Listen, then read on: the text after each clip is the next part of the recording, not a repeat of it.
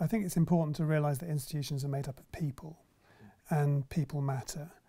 And whatever system you're in, that system will have a kind of ideology that sweeps you in particular directions. And in the research area, there is this, um, it's very competitive. And I suppose in the same way that, you know, in Hollywood, an actor or an actress is only as good as their last movie. Mm. There's a thing in research that you're only as good as your last paper, mm. and oh, so and so has did some very important research, but what have they done in the last five years? And all this kind of thing.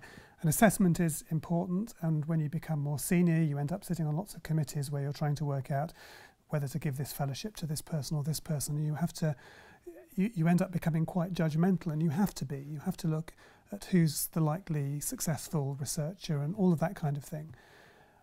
But just because the ideology is driving you in that direction, you have to stand back from it and say, no, actually, this is a group of people. And ultimately, what matters are people. And so, whether or not somebody is a rising star um, or a falling star, or, or the person who serves you the tea, or the technician, or the porter, or whatever, um, everybody matters.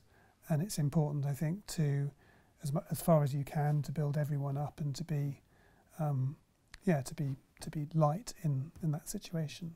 And do you think, in in times of conflict, what do you think our calling is?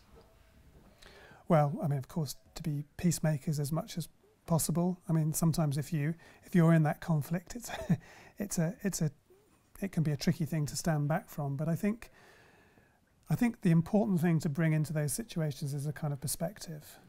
Perspective, and this is not the most important thing. this is not the most important thing, and of course, when you're in a difficult situation, it is the most important thing, and it seems like the issues that you're dealing with are enormous, and so I think it's that perspective to say no, in fact they're not, and yeah. how can we find a a good way through, yeah. realizing where people are coming from as well. I mean, people are often dealing with stuff in their lives that you don't know about.